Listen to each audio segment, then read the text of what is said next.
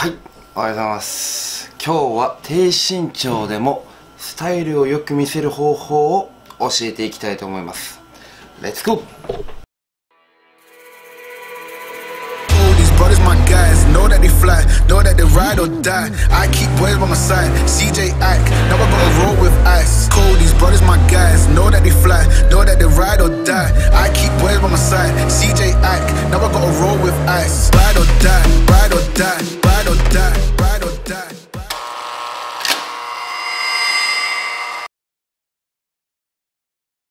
っていうことでまあまずね大まかに言うはいっていうことでまあ低身長でもスタイルをよく見せる方法っていうのはもうほんといろんな方法があると思いますまあ自分も今169センチでまあ日本の平均身長よりは下回ってるということですね。で今回はねいくつかのポイントを押さえれば低身長でもスタイルをよく見せる方法はありますということで今回はねこちらの方を紹介していきたいと思います。はいということで。低身長の人は、うん、まず何をすればいいのかっていうね。まあだって正直身長はまあ待ってもねもう大きくはなりません自分たち。もう20まあ20うーん代中盤までは伸びるっていうんですけどまあもう伸びないですね。で、まあ、まず低身長の方がまあ大事にしなければいけないこと。一番最初のポイント、えーまずはまあプロポーションとそのバランスが大事だよっていうまあ、ちょっと難しい言葉になるんですけど低身長の方っていうのはまあもちろん人よりこうちっちゃく見えるのでここの幅が短いんですよね。1 8 0センチの人1 6 0センチの人だと2 0センチ変わるのでまあそこのところでどれだけまず足を長く見せてバランスをよく保つかっていうのが大事ですね。でそのために一つ目ちょっとこの自分のインスタ今日はちょっと自分のインスタからねちょっと行くんですけどまあこんな感じ。っていうこういったね黒のコーデは大事ですね。黒いコーデをすることによって、まあ、スタイリッシュに見えて、まあ、背が大きく見えます。でも一回ここ横に出すんですけどまあこの写真のようにまあ一つポイント。まあ上半身下半身の差が分かんない。んですねでもこのスキニーとか体のラインが出るやつを着ればその差が分からなくてもヒップラインを上げる腰のラインを上げることによって足が長く見えます。っていうのがポイント。なるべく上半身のバランス上半身を、まあ、どちらかというと短くして下半身を長くする。これとか黒黒コーデなんですけどブラックブラックで首元も暗くしてマスクも黒でみたいな感じなんですけど、まあ、これだとパッと見身長はちっちゃくは見えないと思うんですよね。次のポイントが、えー今はねバランスとプロポーションっていうのを言ったんですけどファッションにこう絞りを入れようっていう絞りってなんだよっていうのはあると思うんですけど絞りっていうのはまあこんな一旦こっちにドンって飛ばすんですけど人間こう首と、まあ、手首足首ってあると思うんですけどそこの部位あであとウエストね。っていうのを、まあ、各部位に分けてこう少し絞り気味にこの写真だったら、まあ、タートル着てでちょっとタイトな、えーそのタートルネック。で、まあ、手首を絞ってでウエストはそのタートルネックをインしてで、えー足首も少し出して絞りを入れてね細く見えるようにします。で細く見せる理由っていうのがやっぱメリハリですよね。メリハリを大事にすることによって華やかになるというか、まあ、要するにファッションはメリハリが大事です。で特に低身長の方はメリハリをつけないとボターっとした感じの服装になるとなんかもうあんまりかっこよくはないですよね。やっぱ大人っぽい格好をするとかこの写真のようにサスペンダーかをつけることによってサスペンダーでこう縦にねこういう風に入ってるんですけどこれをつけることによってこう縦にね長く見えるこう視覚効果を持たせることもできます。なので2番目2つ目のポイントは絞り。まあこういったファッションを見ると首手首でウエスト足首っていうのが細く見えるので各部位が細く見えるとこうスラッとした見えスラッとしたように見えるっていう傾向があるので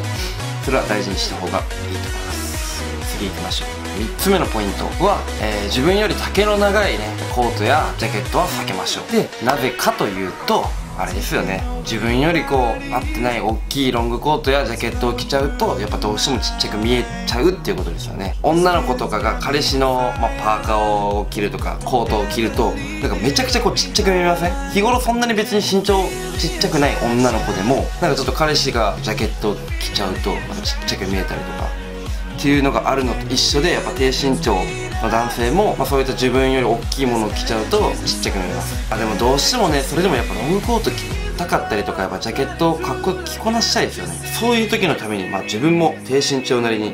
考えてやってます。ということでちょっと一回写真見せましょう。はい。でこの写真。はい。この写真なんですけど、まあ、この写真はね去年のスノボ旅行に行った時に撮った写真なんですけど、まあ、これはねロングコートをね着て写真を撮ってます。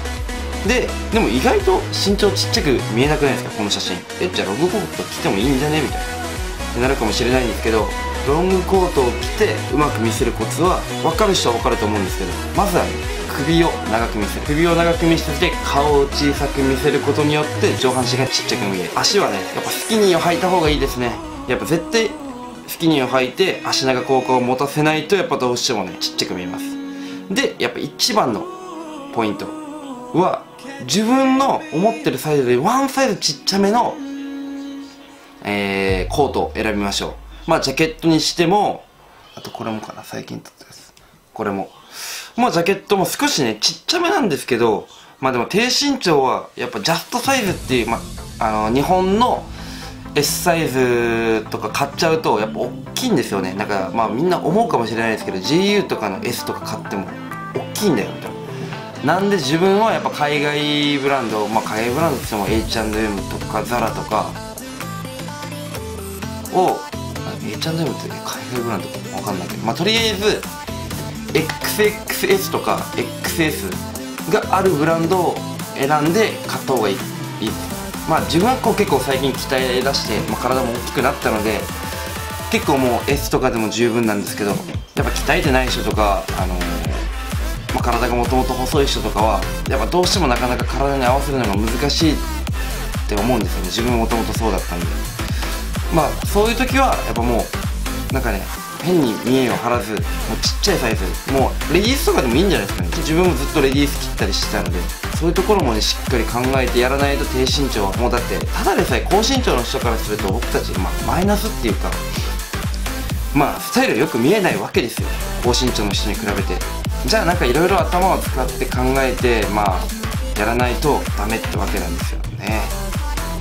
そうなんです。今ねこの3つのポイントだけでも多分相当変わると思います。まあバランスを考えてプロポーションをしっかりと取ることとファッションにこう絞りを入れるしっかりこうメリハリをつけたファッションをすること。で3つ目、えーしっかり自分の丈に合った洋服を選ぶ。どうしてもちょっとサイズが違うとめちゃくちゃダサいですね。自分も絶対に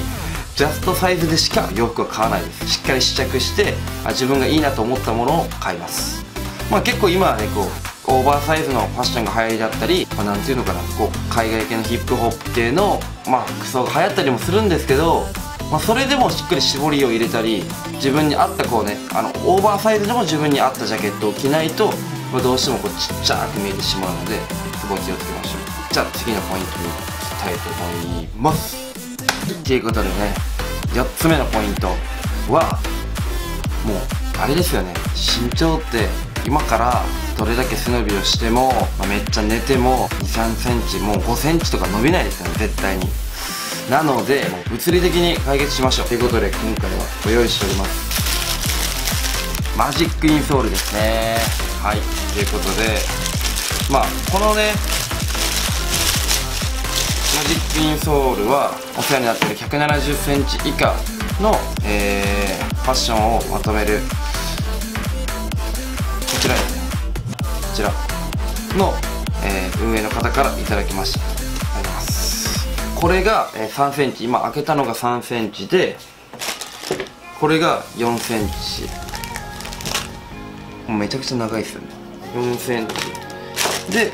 これが2センチ。まあね高さを自分で変えれるっていうのがまあもちろんなんですけどこれはねやっぱローファーとかえー、には入らないんで結構サイドブーツだったりスニーカー。さっき今出した投稿の靴にもほぼほぼ入ってます。でまあこれのねじゃあちょっとどういった感じに使っていくのかっていうのをまあ紹介します。まずは、ま、これを入れることによって、まあ、さりげなく、まあ、身長を盛ることができます。意外とバレないですこれ。てかバレたことないですこれ入れてて。まあ言うて1 6 9センチなんでちょっと一回この写真出しましょうかね。まあこれカナダグースのあれなんですけどドン。これは普通はエアフォース履いてるんですけどそれは、え、この4センチ。あこれか。これか。この4センチのやつを入れてます。でまあパッと見ねあんまりこれ身長大きく見えないんですけどこれエアフォースと合わせるとまあ6 7センチぐらい漏れてるんじゃないですかね。なんで170ちょいぐらい多分あると思います。言うたらまあね、まあ、女性とデートに行く時とかだけこう使うとかまあ身長をこう大きく見せたい時だけ使うとかでも全然いいと思います。でもだなので、まあ、一つこう持っておく。自分はこう34、えー、これ4センチなんですけど、えーまあ、ブーツとかに入れるんだったりこう厚い靴に入れるんだったら4センチがおすすめです。さっき見せたナイキのスニーカーとかだったらまあ3センチかこの2センチを入れるといいかもしれないですやっぱスニーカーでも厚底で、まあ、結構今エアマックスだとかあれ意外とあの中深いのでまあ、インソールなくもともとのインソール外してこのインソールを入れて入れるとかまあ逆にあのまあローファー的なものに入らないとは書いてるんですけどちょっとこう厚底のものだったりとか入れれるんだったらこの2センチを入れてみるのもいいかもしれないです。意外と2センチちっちゃいかもしれないですけど意外と横に並んだりすると大きく見えますこれ。やっぱねもう正直だって大人になってじゃあ身長伸ばそうとかさ今からじゃあ大きくなれるかもしれないとか、まあ、まずないので、まあ、自分もこういった商品に商品にお世話になってスタイルをよく見せてます。で、まあ、前にも言ったそのその前の3つのポイントを使ってもらうプラスこういったものでしっかり身長をまあ持ってあげると。だってね女性だってヒールで持ったりねするので男性だってね今はこういう風に盛る時代なんです一応概要欄にそちらの方のリンクも貼っておくのでぜひよかったら見てくださいしかも安いんですよやっぱなんかこういうのってなんか買っちゃうとまあどんぐらいか1万円とか、まあ、普通に本当に高いインソールだったら1万円とか5 6千円とかするんですけどもこういったマジックインソールはこれは、えー、2000円ぐらいかな。で買えます。でネットでまあ普通に、まあ、Amazon で買い物するように買ってもらえばとてもすぐお手元に届くと思うのでぜひ使ってみてください。まあね今回はちょっと簡単に4つのポイントでまあ、低身長でもスタイルをよく見せる方法を教えていきました、まあ、まあ自分なりなんですけどね、まあ、自分もスタイルがいいわけではないです。こういったねまあアクセサリーを使ったりとかまあ腕時計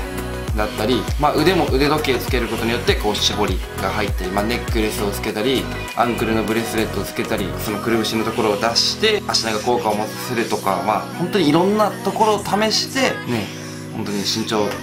盛ります自分も。まあ、自分のインスタグラムを見てくれてる人だと分かると思うんですけどまあ多分1 7 0センチないって言ったらみんなに驚かれたりするのでまあ、本当に効果は絶大だと思います本当に。なので、まあ、逆に多分自分よりちっちゃければちっちゃい人が本当にやればもっと効果が出るんじゃないかなと思います。本当に。で、まあ、こういったさっきもこれ1 7 0センチ以下の方を特集した、えー、まとめのなんていうんですか、ね、アカウントがあったりするので、まあ、そこの運営者の方ともこう仲良くさせてもらって、まあ、いろんな話をするんですけどやっぱね低身長でも逆にいいポイントもあるんですよね。やっぱ低身長だと意外とこう老けて見られないとか結構若々しく見られたりとか意外とこうチャーミングなところもあって、まあ、女性の方にもね意外とモテたりするっていうのもあると思うのでじゃあそこでねこううまくスタイルを見せてかっこよく見せるとさらにモテるんじゃないかと思います自分も、まあ、今回はねこういった感じで、えー、レク教えていきました。この動画良かったらいいねとチャンネル登録。お願いします。まあ毎回ね筋トレばっかも面白くないので自分が持っているこういったスキル、まあ、スキルっていうのね、まあ、スキルを見せて皆さんもやっぱねかっこよくいい男性になってほしいのでまあ女性の方もねこのポイントは使えると思うので男性の方も女性の方もおしゃれにかっこよく可愛く日頃の生活をね送っていただけたらなと思います。ではまた。次回の動画でお会いしましょう。1 7 0センチ以下のアカウントも自分のインスタのアカウントもフォローお願いします。ではまた次回の動画でお会いしましょう。バイバイ。